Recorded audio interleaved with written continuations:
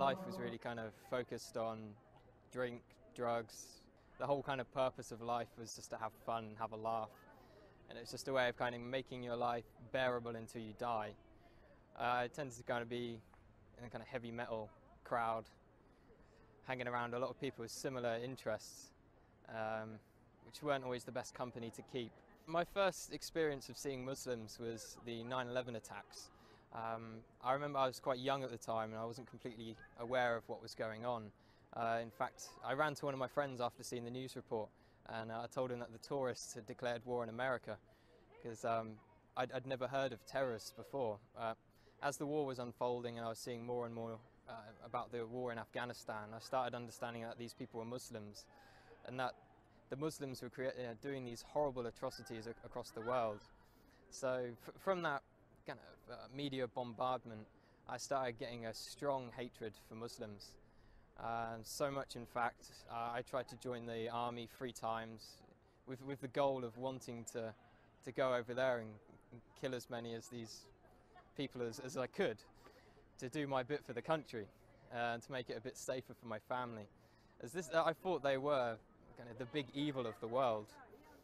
Um, I started hearing a bit more about Islam. It was the last time I was applying for the army. I came across this radio station. It was at a time when I was listening to conspiracy theory radio and things like this. And this, uh, it was a radio station from the American government called Terror Talk. And it was talking about the life of the Prophet Sallallahu um, it, it, it just didn't sound right to me that people would follow him from all these evil things they were saying about him. So I started to question what Muslims believed at that time. I was on a spiritual search anyway.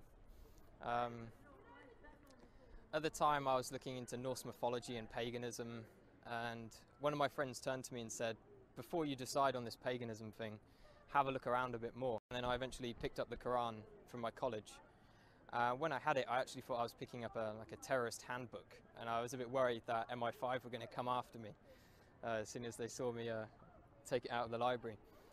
But as soon as I started reading the book, it just it, it hit me immediately, and I couldn't stop reading it. It just it, it sank deep into my heart, and as as I kept continuing through through the different surahs, I remember reading about uh, people in the fire having boiling water to drink, so burning their throats.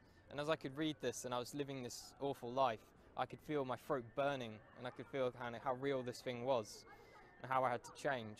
Well, the first day I went to the mosque, um, I spent all day there reading and my mum called me in the evening and asked me you know, where had I been all day and I said I was at a mosque. She's like, what? No, no, no, no, no, you, you can't be at a mosque, you're a Christian. Christians don't go to mosques. And she was very, very shocked and thought I was going down a bad, bad path.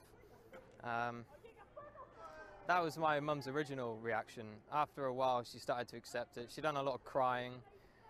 Um, I'm not too sure why she was crying. I think she felt I was rejecting everything she'd taught me. A lot of people say when they find Islam, it's as if they've come home.